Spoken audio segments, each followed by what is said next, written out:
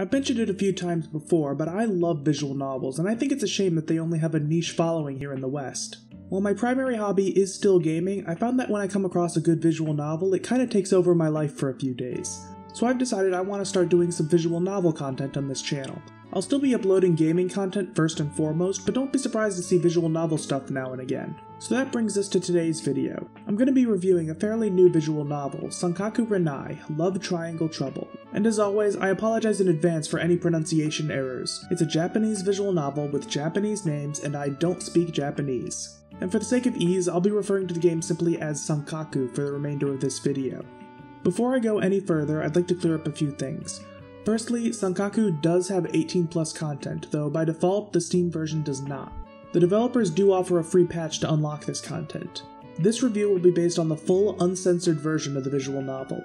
Secondly, as this is a visual novel rather than a traditional game, the structure of this review is necessarily going to be a little different, with the bulk of the analysis being on the writing. Don't worry, this will still be spoiler free, but I'm going to go a bit more in depth on the writing than I would in a game review. So, with all that rambling out of the way, let's get started. Sankaku is a romantic comedy, emphasis on comedy, visual novel that had its English release in May 2019. It was developed by Asa Project and published by. Uh, NekoNyan Limited. Great company name, guys. To start things off, let's quickly go over the technical stuff. Now, obviously, since this is a visual novel rather than a game, the system requirements are basically non existent. If you can turn on your PC without it exploding, you can probably run Sankaku, and I'm happy to announce that I encountered exactly zero crashes, freezes, or noticeable bugs. On to art and music. Like many visual novels, the bulk of Sankaku's visual presentation is with character sprites on top of a static background with CGs interspersed throughout. Obviously, whether or not you, the viewer, like the art is going to come down to personal preference, but I personally like it. In particular, I like the character design. Each character has their own little quirks in their art that I think does a lot in making them all feel unique. Additionally, each character has a lot of facial expressions and poses, more than most of the visual novels I've read, which is something I appreciate. One nice touch is that each character actually carries themselves slightly differently. As far as I can tell, none of the poses are reused between characters. As for the CGs, the most I can really say is that they're pretty good. Again, it's all going to come down to preference, but there's not that much deviation from standard visual novel fare, aside from some minor animations. I do think that this one is really pretty. There are also a few CGs that are a little less realistic and more stylistic. These are done in a more chibi art style and are in general more chaotic, there's just more stuff going on in them. These are mostly used for dramatic or comedic purposes, and I think they work, though I'm glad they were used relatively sparingly. I felt like the music was good, but nothing special. Most of the tracks did a good job of serving as background noise, the important characters had a recognizable theme, and none of the music ever actively irritated me. I'm sure that I'm going to have music from Sankaku playing in the background of this video, so you can make your own judgments there. Overall, while none of the music is going to make it into my playlists, I liked it. And one more thing I have to mention before getting into the meat of this review is the translation work. Sankaku was originally Japanese, so obviously if I'm gonna read it, it needed to be made into English. There were two things that were made abundantly clear to me within five minutes of actually starting up. Firstly, the translation style is a little less literal and more interpretive, and secondly, the translators are almost certainly native English speakers, which is actually a lot less common than it really should be. I was very pleasantly surprised by all this. See, most visual novels are Japanese, and there are times when the translation work in otherwise fantastic products is kinda shoddy. Here's the thing Japanese and English are very different languages, both structurally and culturally.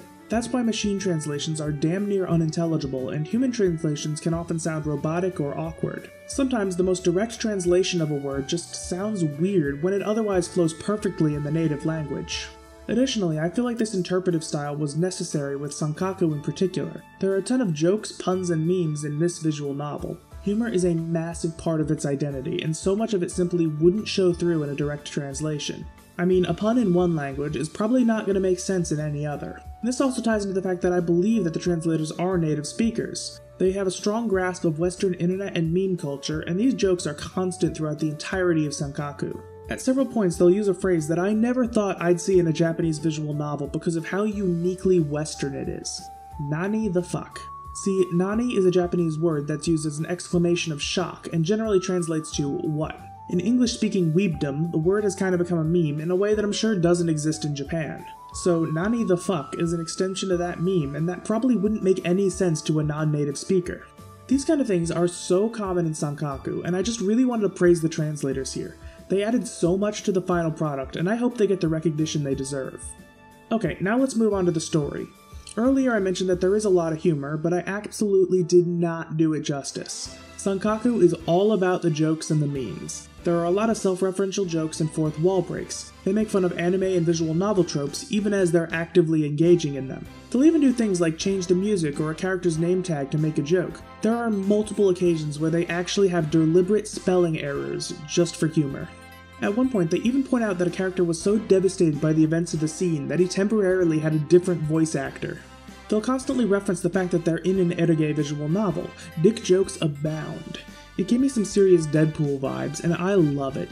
Sankaku is absolutely hilarious. Seriously, it's probably the funniest visual novel I've ever read. I get that the humor won't appeal to everyone, and I'll admit that not every joke landed, but I think it was absolutely fantastic. But that being said, it still has a story to tell, and I have to say it's actually pretty good.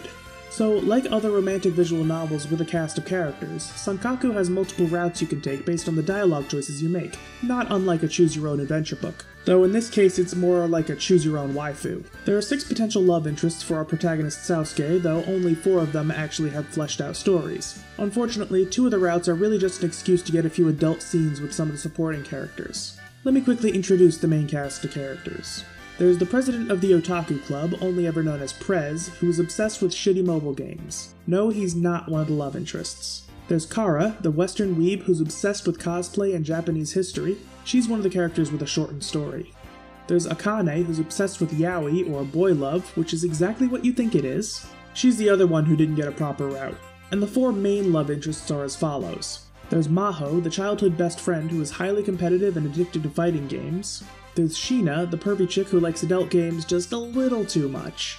I mean, I'm a total perv, but even I think it's excessive. There's Nanaru, Sasuke's stepsister. She's a bit of a ditz and enjoys the whole bonding through messing with your friends dynamic.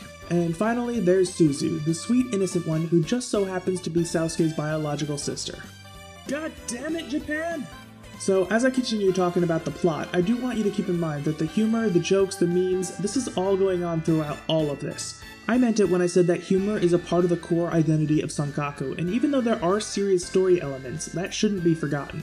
So the way the different routes work is you start out on the common route, which is basically the introduction to the characters and setting. If you've read other visual novels, this will be nothing new to you. From there, based on your choices, you'll be put on either the sister route or the love route, which is the first part where the story properly deviates. And from there, that's when you'll eventually lock into one character route. There's only one ending per character, so no bad endings. And I guess I should also mention for all the pervs out there that there's no harem ending either. The characters themselves each have a defining obsession, and at the start, it kind of feels like that's their entire personality. However, as you progress along each route, you'll start to see more and more actual personness with each of them. You'll start to see each one of their flaws, virtues, and insecurities, which is something that could have easily fallen by the wayside. I don't want to get into spoiler territory, so you're just going to have to kind of trust me on this one. As the title of the visual novel implies, there are love triangles involved. The characters involved will depend on whether you're on the sister route or the love route. I'm actually pretty conflicted about this. On the one hand, I like how the writers explored the idea of the protagonist's actions actually having an impact on the rest of the characters. In most choose your own waifu type visual novels, the other love interests just kinda carry on with their lives like normal when you don't choose them. In Sankaku, the initial path he's on, be it sister or love, has Sasuke bond with two of the characters, and there's a natural progression where it makes sense no matter which one he ends up with. But when he chooses one, the other is going to get hurt, and I really like that.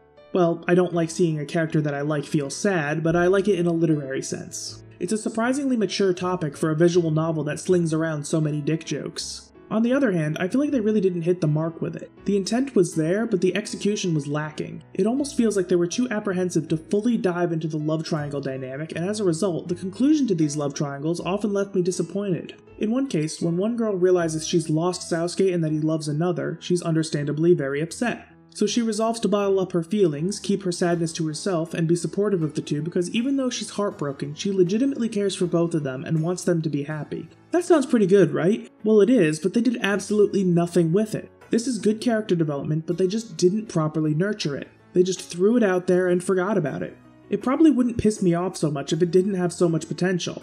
I wanted to see where these emotions would take her. I wanted to see what conflicts and problems it could cause because suppressing your emotions really isn't a healthy way to process them. I still want to see that, but it just didn't happen. In fact, only one of the four routes had a conclusion to the love triangle that actually felt satisfying. Again, no spoilers, but the rejected girl and Sasuke had a face to face where they properly came to terms with their situation. I really got that sense of, we're never going to be together and that hurts. I'm heartbroken. I'm not okay, but I will be in time, and I'm happy that we still get to be in each other's lives as friends. I really wish I could go into this more, but that would spoil things. To me, that was the only route where it felt like that loose end was fully put to rest, where I didn't get the feeling that the rejected girl was just gonna wallow in misery for the rest of her life.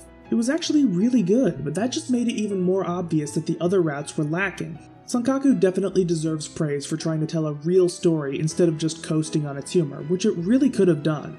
But I feel like if they were gonna give that extra effort, take that risk, they should go all out with it. I don't want to take away from how good it is that they're willing to actually do proper storytelling, but I also don't want to say that everything is just fine when it could have been so much better. Now I have to talk about that ever present elephant in the room the adult content. Viewers of my channel know that I don't really care if a game or visual novel has adult stuff in it as long as the product is good, but I understand that other people aren't the same way. The sex scenes in Sankaku follow the same general tone as the rest of the visual novel. Now, they do have story significance since the scenes usually mark an escalation or important moment in the relationship, that being said, they're still pretty lighthearted and in some cases pretty funny. Sankaku is a huge meme fest, and even though the sex is a little more on the serious side, they're still willing to make dumb jokes here and there. I mean, at one point, the girl Sasuke is with says the following I thought if you came now, the screen would fade to black and the next scene would be tomorrow morning. This was referencing two eroge tropes in a fairly clever way. On the one hand, in visual novels, after a sex scene, it usually does just cut right to the next day. On the other hand, the protagonists of these types of visual novels usually have inhuman levels of stamina and next to no, um, recovery time in between rounds. You're still going to be laughing during these scenes. And as for the sex itself, I know that I made a joke earlier about the fact that, well, Japan can be kinda weird, and Japanese eroge can be very weird.